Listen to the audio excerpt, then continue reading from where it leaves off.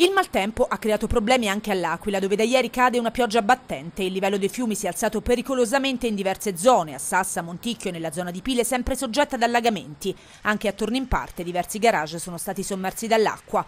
I volontari per tutta la notte hanno presidiato le zone più a rischio e anche il sindaco per Luigi Biondi e l'assessore Taranta hanno invitato le persone alla prudenza ad evitare di uscire se non strettamente necessario. La sala operativa della protezione civile regionale è stata costantemente al lavoro. Durante eh, la serata di ieri abbiamo avuto delle piccolissime esondazioni di alcuni corsi d'acqua, eh, soprattutto nell'Aquilano, eh, nell'Aquilano interno, senza eh, grandi problematiche risolte anche a livello eh, comunale.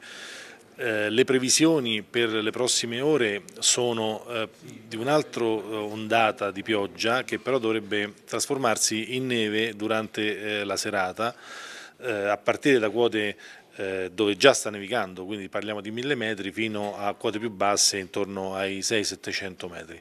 Però la situazione migliorerà nettamente nel corso della nottata, domani dovrebbe essere eh, bel tempo. Noi siamo stati ovviamente presenti eh, tutta la notte, eh, c'è una, ehm, eh, ovviamente seguiamo, c'è un'allerta giallo temporali che è stata messa dal Dipartimento della Protezione Civile, ovviamente in rivalutazione nel corso della giornata e monitoriamo la situazione ma non ci dovrebbero essere grandi problemi.